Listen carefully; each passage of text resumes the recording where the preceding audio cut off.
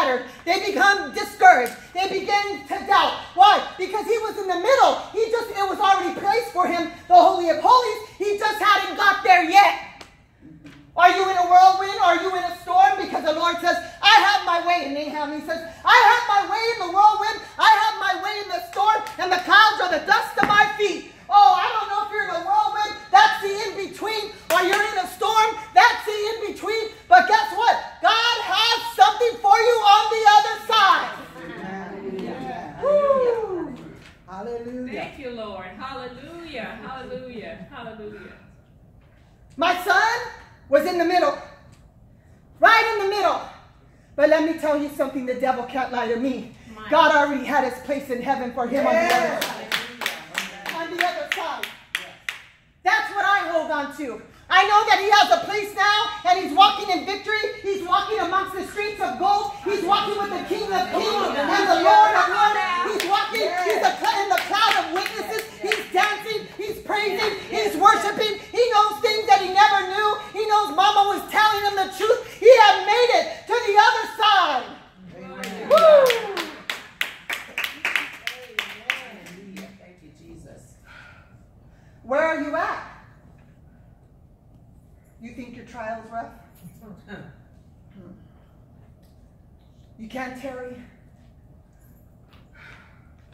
If I can hold on, you can hold on. Yes, Amen. If I can believe, you can believe. yes, yes. I know my purpose and victory is on the other side. Yes, You all haven't seen nothing yet because you're just in the in between right now. You may be in a hardship right now. You may be having you may be having financial troubles right now. God is your provider. Jehovah Jireh is your provider. Provision is on the other side. Amen. I am is on the other side. I am is in the middle, and the I am was before you. I am is in the before you. I am is in the middle, and I am is on the other side. So whatever you need in the middle, I am has it for you. Whatever you need at the end, I am has it for you. And whatever you need it, you know, I am had it for you. He has it for you. Amen. Amen. Amen. Amen. Amen. Pastor. Amen. Hallelujah. Amen. Amen. Praise the Lord, everybody. Oh, yeah. Oh, come on, praise the Lord, everybody. Praise the Lord. God is already provided the way. Hallelujah. He already blessed it before we ever got there. Thank you, Father. Eternal God, I just thank and praise you for the opportunity to stand before your beautiful people today, Lord God. I ask that you would anoint me right now for this assignment, God. That you would touch my lips and give me what to say, Father. That everything that I am, every idea, every opinion would take its seat. And Holy Spirit, that you would stand up in me and speak a rhema word to your people. I thank you in advance, God, that every word will fall on good ground and they will be conformed to your way and your image and your likeness so that you may be glorified in Jesus' name. Amen. Amen. Praise the Lord. So it's really, really amazing because I was kind of excited that I got lost. I went to the house. Um, my mother uh, sent me a word that Benicia would be ministering. I was like, yes. Just got to come and be supportive. And I ended up in uh, Long Beach and then turned back around and came over here. Like, amen. So I came in, I was like, okay, made it out because I just want to sit down and get refreshed. But, amen, God has his way and I appreciate it. But Benicia, um, I love my sister with my whole heart. And um, one of the things I want to share with you guys is you may be in a situation right now. And you may not understand why you're going through all that you're going through. You know, God, why is all this happening to me?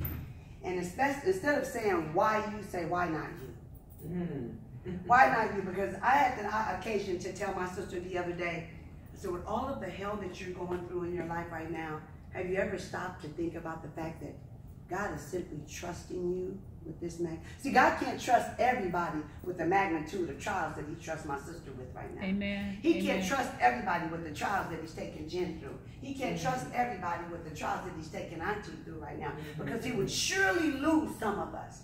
Amen. We have to remember that God is a God of promise. He's a God of covenant, and His word will not return to Him void. So every promise that He spoke to you, for you, and about you shall come to pass. Amen. But somehow in the middle, we allow the circumstances and what we see to cause us to doubt what God says.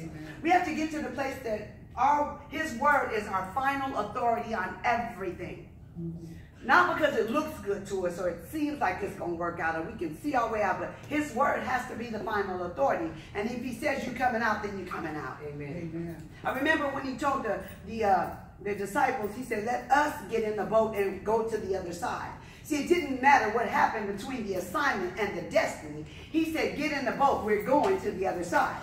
He didn't say that there wouldn't be a storm in the middle or that the rain wouldn't come. He said, get in the boat and we're going to the other side. Right. We have to know that it doesn't matter what happens between the time he gives that assignment and the destiny, we're going to the other side. So whatever it is you may be going through right now, you're going to the other side in the name of Jesus. Amen. Amen. But the problem that he was having with the disciples is the same problem that he's probably having with you, you, and you, is your faith. Well, we say we have faith, Pastor Benicia, um, but do we really have faith? See, faith is not the check is in the mail because the IRS owe you something. Come on, somebody. faith is not, well, we met with the marriage counselor and my husband and I are going to try to work. Faith is there is no way out. Ain't got no check coming from nowhere. But I believe God's going to do just what he says. Am I making sense to you? My son is in a situation right now where he and his family are homeless. Never been homeless in their life. Mm-hmm. And he was all broken and balled up. And I said, Are you serious? Mama, you know, you and dad got favor. No, no, no, no, no. Mm-hmm. What dad and I have is not favor, it's hard work. Mm-hmm. Favor is you don't have no job, you don't have no car, you don't have no means to pay your bill, but you're still full, you still got a roof over your head. That's what favor right looks like. Oh my God, somebody gonna hear me. Favor is not because you see me driving, I got a Jaguar in the driveway that haven't moved in two years because I don't feel like driving it, and, and, and cars and a beautiful house. Because my husband gets up and goes to work every day and has a nice salary. That's not favor, that's hard work. Mm-hmm. Favor is you don't have no way to make it, but you're still making it because the favor of God rests upon your life. So we get in this because we're so carnal minded, we have this thing Hallelujah. messed up. Yes, Our Lord, carnal mind does not dictate God's ability. Say it. Hallelujah. What I can think and conceive in my mind does not dictate God's ability. Am I helping you? Amen. Amen. So really, really quick. Um, if I had a word to bring to you right now, it's like we have to, if you notice that God is raising up women, women just popping up everywhere. We're about to go to this big conference in October, and all these pastors from everywhere, Deborah's and Jael's and Esther's just rising up. We're just going to all come together and, and just feed one another. And it's, so it's a time of profession, but God is just raising up daughters. And so there's a little skip going on in my church with a couple of uh, new men ministers there. You know, they want to contend with my husband about women being pastors. Mm. Yeah, so he brought some scriptures uh, to my husband's attention. I'm just gonna talk to y'all today. Is that all right? Yeah. Uh, to my husband, and like you know, he have a problem with you know women being in authority. And my husband, of course, he's going to defend uh, the Holy Spirit because my husband knows that that that uh, there's a difference between opinion and the Word of God. Because often we take the Word of God and we twist it to to fit or justify our own opinion. Yes. So the scripture that the man used was that what Paul said, not God. Because Paul made it very, very clear.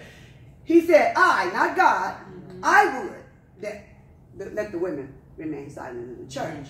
Paul said it. Never said God said, but then he skipped, forgot to mention the part that God said in the last days, I will pour my spirit out upon all flesh. My sons and daughters will prophesy. Amen. Old man shall dream dreams, young man shall. So I, I, I decided to help him out. Because see, my Bible tells me, again, the word has to be your final authority. And I'm going to help somebody. So don't let your flesh and your ego start, stop you from, from having an occasion to give God glory. Mm-hmm. Don't let flesh and ego stop you from giving God an occasion to get the glory. Watch this. So because there was a skip going on, I decided to help them all out. Because love believes all things, hopes all things, believes all things, doesn't seek its own, is not puffed up and not proud. So I decided to help them out. And I said, I tell you what I'll do. For the sake of peace and for love's sake. Love doesn't seek its own. I said, what I'm going to do for you, religious people, is I'm going to relinquish the title of pastor. Since you have an, a, a problem with women pastors, I said, I'm going to relinquish the title of being a pastor. But that's not going to stop me from answering the phone at 4 o'clock in the morning when somebody's in trouble. It won't stop me from running over to that shelter, putting families in. It won't stop me from feeding the hungry on Saturday. You can take the title, but it won't stop the work of the Lord that He's ordained me to do. Watch this. Yeah. It won't yeah. stop me from going out to the boulevard ministering to the prostitute. Yeah. It won't stop me from going down there trying to get the gun, gun from the gangbanger. You can take the title, but is it going to stop the work? I said, but if I pulled your title right now. Ah, come on now. If I pulled your title right now, are you going to stop showing up to church on Sunday? Are you going to stop going down to the boulevard with us? Oh, you don't go to the boulevard with us on Sundays. I mean on Saturdays. Are you going to stop feeding the homeless? Oh, you don't feed the homeless with us on Sunday. See, we got to get rid of our flesh and realize that we are nothing, and it's not about the title or the position. It's about the assignment. It doesn't matter what happens between the assignment and the destiny. Uh-huh. Am I helping somebody? Yes. Amen.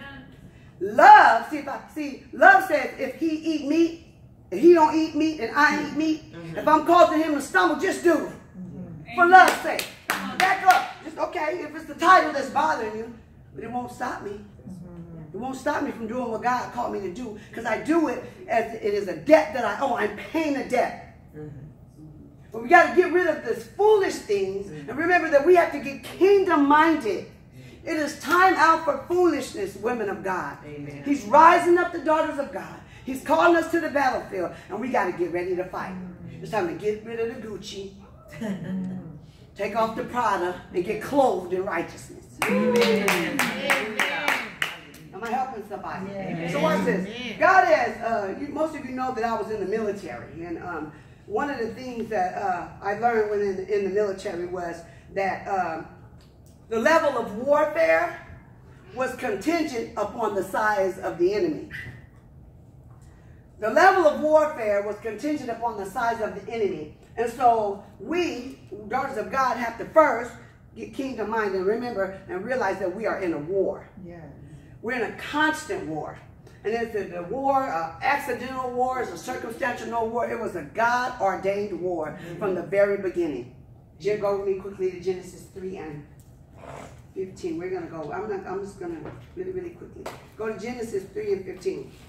Because we have to realize that we are in a war. And as daughters of God, you often wonder, why do we go through so much? I mean, from the time we're we hit the ground, we're, we're plagued with issues of abuse and molestation and low self-esteem and inadequacy and fear and doubt. God ordained. God ordained. Yes. Watch. Genesis 3.15 says, I will put, God, I will put enmity between thee, Satan, and the woman. Yes. And between thy seed, Satan's seed, and her seed. The woman's seed, God said, shall bruise thy head, and thou shall bruise his heel. Enmity is more than a mere feud, Benicia. It is a war. Enmity doesn't translate dislike. He didn't say, I'm going to make it where you and Satan don't like each other. It translates in Hebrew, enmity, ava. And ava means hate. So what that means is Satan, I'm going to make sure that Satan hates you. And that you hate Satan. But see, the problem is Satan hates us. He is constantly, from the time we hit the ground, he is constantly showing us that he hates us. He's constantly setting up traps for us. He's trying, constantly trying to destroy us. But we, amen, somebody, um, have come to like and enjoy the things that are associated with him. Watch. Enmity is supposed to work both ways. Right. We're supposed to hate the enemy. But we have been, as in that passage it says, she says, he says, why did you eat the fruit? And she says, because Satan beguiled me. Mm -hmm.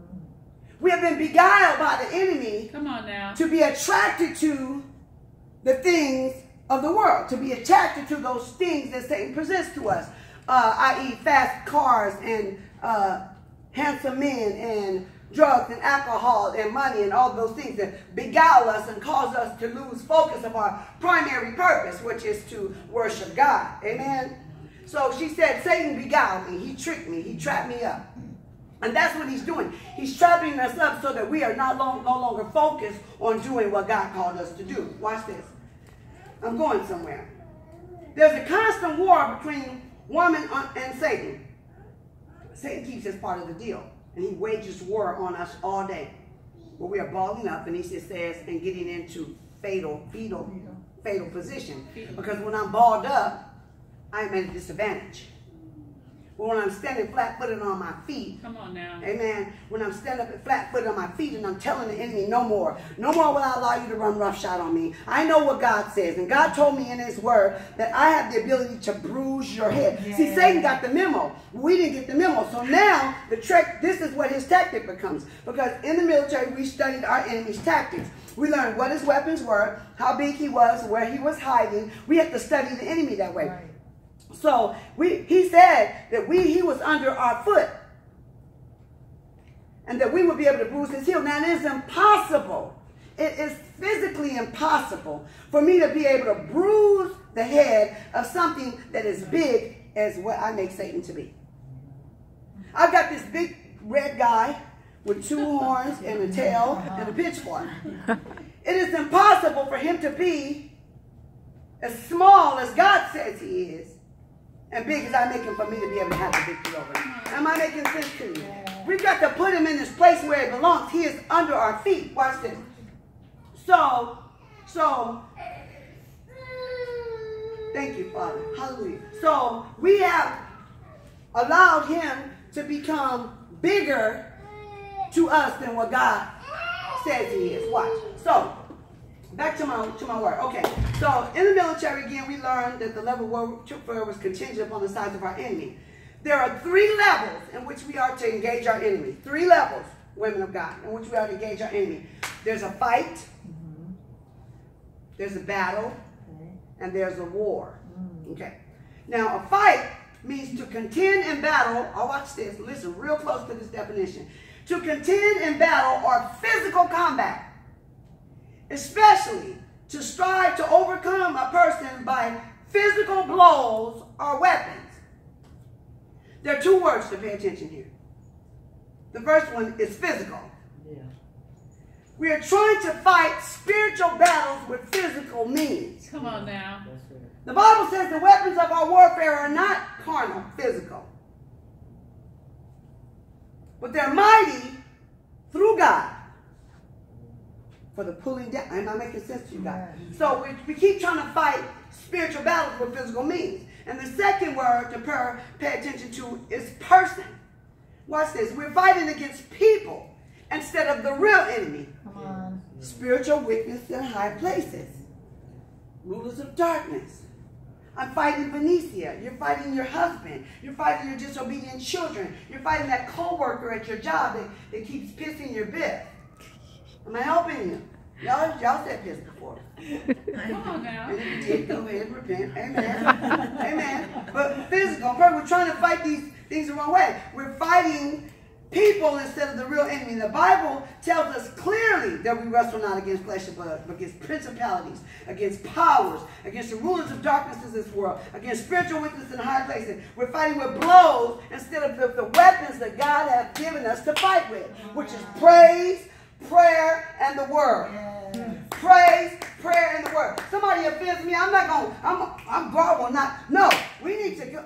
The Bible says. But we don't do that. Why? Because my ego, my flesh will not allow me to utilize the weapons that God has given me to fight these battles, i.e., why we're losing the battle. We're losing the battle because we're not fighting with the weapons that God has given us. We can't fight both ways. The Bible clearly explains to me that I'm not a natural being having a physical experience. I mean, a physical being having a natural experience. Spiritual being having a natural experience. Other way. I'm not a natural being having a spiritual experience. I am now a spiritual being having a natural experience. I become spiritual. So and the, oil and water don't mix. So now I have to live spiritual. I have to think spiritual. And I especially have to fight spiritually. I hope I'm helping somebody. Yes, Amen. Amen. Okay. Now, the second definition was battle. So we know what a fight is to contend in battle or physical combat. Battle is one in a series of small fights. one in a series of small fights. We have constant battles in our life. Amen. Bible says the battle is not yours. No, it's not yours. It's the Lord's. But you keep fighting all these battles all these battles. You want to show up in the battle. you want to fight them physically, and you don't understand why you're losing. God, why am I defeated again? Why it's not working? Because you're still trying to fight with your flesh. Mm-hmm. Amen. Mm-hmm. Mm-hmm. It seems like when we get through one battle, here comes another one. Back to back. We can hardly regain our footing before the fire comes again. But we change our thinking to remember that we are fighting in a war and focus on the bigger picture and the overall victory instead of our own personal triumph, Amen. we stand a better chance yeah. of winning. We got to get kingdom minded. No soldier ever steps up to the to the war and saying, "Okay, no, I'm going to fight him." the goal is to fight the enemy as a whole. Am I making sense? I've got to fight the whole opposing force as opposed to one person. That's or right. one thing, one issue. I've got to fight the whole overall force. Am I making sense to you? When I'm, yeah, the strong man, thank you. The whole, it, we've got to take down the whole force. Yes. I.e., the next definition, which is a war. War is an organized, armed, and often prolonged conflict that is carried on between nations. There is a nation against a nation. There's a nation of, of holy people fighting against a nation of darkness. Am I making sense to you? Watch this. There's a whole nation uh, uh, of evil. There's a whole nation uh, of, of darkness, and we're a whole nation of righteous people, holy people. We should be. Yeah. We should be. But we're not because we're mixing oil and water. Oil and water don't mix. It don't mix. Watch this. I'm going to help you. Watch this. Thank you, Jesus. We have to get organized and in, in strategic in our war against the hmm. enemy.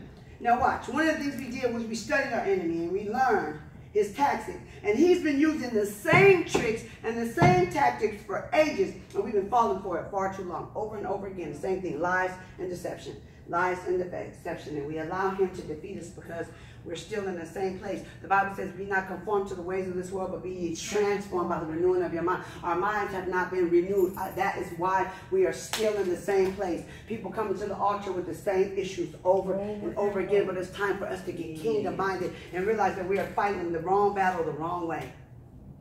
But it's, we're so quick to say, I'm a warrior woman, I'm a soldier.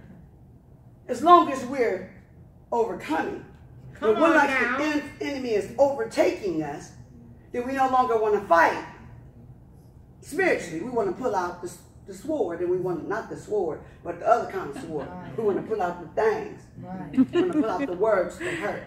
Amen. We don't want to fight. I, I told a young lady the other day, it was a Jew, I said, you're going to win that fight, but the answer is between your knees and your ankle. Mm. Not right here. Mm. Right. We got to learn how to fight the way God is calling us to fight. Amen. Amen. Uh, we got to get strategic, you guys. We have to remember that we are not fighting in a fight or a battle, but a war. Amen. And so, in order to fight in a war, one of the, one, the things you have to be is you have to be equipped. You have to be equipped to fight in a war, right? Mm-hmm. He says, put on the full armor of God. The most important piece of that fight. Amen. The Amen. most important piece is the shield of faith, mm-hmm. with which to quench the fiery darts of the enemy. Because it don't matter if I got a sword, it don't matter if I got shoes to walk in peace, but if if I don't have a shield to protect my vitals, yeah. amen, we got to put on the shield of faith. Amen. Amen. So let me talk to you about that really, really quick. I, I wasn't, uh, so I said, okay, so Take your time, Pastor. In addition, he said, take up the shield of faith, which which you can extinguish all the flaming darts of the enemy. We were given a plethora of equipment to use while we were in, in the military and um, to protect us, and we were given specific instructions on how to use each piece of equipment. Mm-hmm. Each piece was equally as important and had a specific function. And it was explained to us, and if we went into battle with any, without any one piece of the equipment, we were vulnerable. Yeah. Each piece worked synonymously together to protect us for the overall battle. So if I went on, I could have everything else, but if my helmet wasn't on, if I had my helmet on and everything else, but I didn't have my shield on. So I have to be fully equipped when I'm going onto battle. So just to back up, women of God called to the battlefield, amen, to stand on the fight and war and fight, amen. It's time for us. We're called to war, amen, and not battles and not fights. We're called to, to, to fight this war, amen. Yeah. Daughters of God, forget about the religious liars, amen. God poured his spirit upon all flesh, and he's calling the remnant, yes. calling the remnant, amen. rising up his daughters, amen, to fight. But we've got to be equipped, we got to get strategic. In a nutshell, watch. Okay, so um, Paul explains to the church in Ephesus the importance of being fully armed for battle. He explained where each piece of armor was to be worn, and when uh, and when he gets to the shield of faith, he defines the purpose. Now watch, he gave he gave us all of the pieces, but when he got to the shield of faith, he explained it. Hmm. He explained the purpose of it. He said, to quench the fiery darts of the enemy. And he goes on further and tells us that this piece of armor is to be used in all circumstances. Because without faith, we, it's impossible. Amen. Without faith, it's impossible to please God. Amen. Without faith, it's impossible to rule, to win the war. Without faith, it is impossible to overcome. Without faith, it is impossible to do anything. Right. This is a faith fight, y'all. Right. Yes, it is. Amen. This is a fight of faith. Right. Amen. Watch. Amen. Mm. Watch. So he said, because in the middle of the war, it is important for every soldier to believe that they have the ability to win. You cannot go on the battlefield and look at your enemy and say, I just don't know if we can do it. I just don't think we can fight this. I don't, mm, I don't know, Benicia. They look bigger than us. You know, I don't know. so, but why do we do that in our circumstances right. We have to approach every circumstance. Marriage troubles, financial troubles, health issues, job problems, whatever it is. We have to approach every situation knowing that we have the ability to win it. No soldier gets on the battlefield doubting their ability to be able to win. You have to go in knowing I can lick them. They might be outnumbered, but I can lick them. They might have better weapons, weapons than us, and I can lick them. The doctor might say it's terminal, but I can lick it. The doctor, he might be gone, but I can lick him. My husband might be packing his suitcase, walking out the door, but I can lick him. We have to remember that we don't have to fight for the victory. The victory is already ours. Yeah. We're fighting for something that we already have. Come on now. So you can't go in the battlefield with that mindset, wondering if you're going to be defeated. You can't have any room for that. That's not faith. Right. We pray for a lot of things but how often do you really, God, help me with my unbelief? Because that is where we're going to win. Faith is the substance of things to hope for. I need a bottle of water. Faith is the substance of things hoped for. The evidence of things not seen. Are you done with that bottle? That cup? Let me see that. This is hope. This is hope. It's empty. Forget the coffee. It's empty. It's hope. Hope is empty. Mm. Faith it's hope substance. Yeah. Hope is zero. Now faith, and then the evidence is I'm wet. Mm. Hope is nothing without faith. I hope we win this war. But faith gives activation, it gives substance to hope. And now I know we can win it. Why? Because now there's evidence of it. Faith produces evidence. Am I making sense to somebody? So we cannot win a war that we don't believe we have the ability to fight. We have to know that we have the ability. Not only do we have the ability, we've already been given the victory. It's like getting in the ring with Mike Tyson, as big as he is ugly as he is. and he's knocking you these punches, and you're on the ground, and your eyes are swelling. But when the bell rings, they hand you the belt. Why? Because it's promised to you. We already have the victory. But we have to get kingdom minded. Realize that we are in a war, a constant war. There's a battle every day in your mind. Yes. Driving down the street, somebody cut you off. You got a battle. Mm-hmm. Do I let the finger go up? Do I keep driving? Mm-hmm. Right. You know? Okay, I'm 15 minutes late for work. Do I sign in at the right time? Oh, I'm gonna go down your street in a minute. I sign in at the right time. I'll go ahead, nobody watching. Come on now. Mm-hmm. You know, I, I don't have, I could buy these two, this girl got five extra kids. I could just buy one of these kids for my taxes. We have a fork in the road at every, at every junction, junction. There's a, we have a choice right. to do what is right versus what is wrong. Amen. To give God the glory and to choose yes, the right thing. We have an opportunity, and occasion to choose the right road. Often we choose what feels good or what makes my flesh comfortable. Yes. But in the kingdom mind, we're concerned about the overall victory. We're concerned about the overall uh, the, the, the, the, the team overcoming as opposed to my own personal triumph. Yes. Am I helping you guys? Amen. Okay, I'm almost done here. All right, amen. Hebrew faith is the substance of things hoped for, the evidence of things not faith dreams. The faith is an action word. Faith without works is Yeah. yeah, the evidence is the victory. As Christians in the middle of a battle, we tend to allow the multitude, the magnitude of the attack, watch this, and the noise from the gunfire. Mm, Mm-hmm. Were you talking to me about that the other day? The noise from the gunfire. Benicia and I were talking the other day. She's talking about there's a sound versus a noise.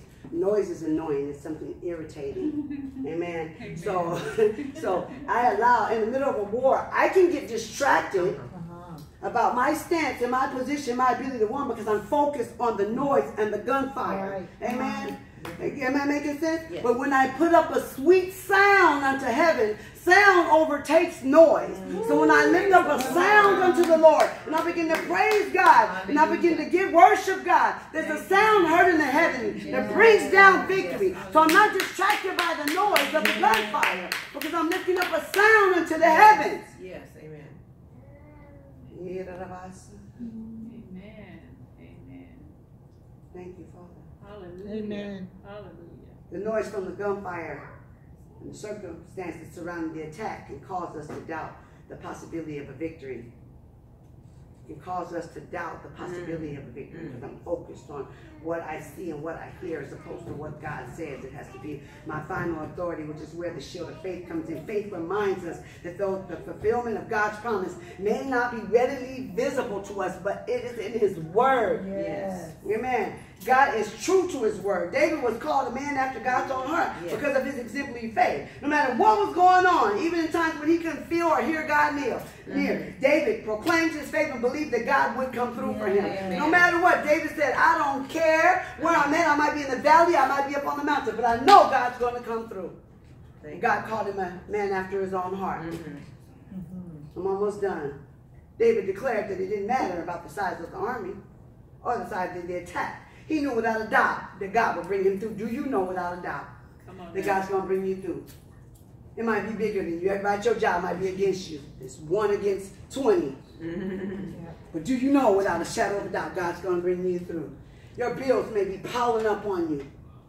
But do you know without a shadow of a doubt that God's going to bring you through? Mhm. The doctor says it's terminal, but do you know without a shadow of a doubt that God's going to be because that is faith. Faith says, I don't care what nobody says. God's going to bring me through. Yes. Yes, He's going to give me the victory. Now that He's already given me the victory because. He Yes, said, My yes. enemy is under my feet. Amen. Amen. Amen. Amen. Good word, Bless the Lord. Thank you, Jesus. Hallelujah. Amen. One more thing that I need to give you guys.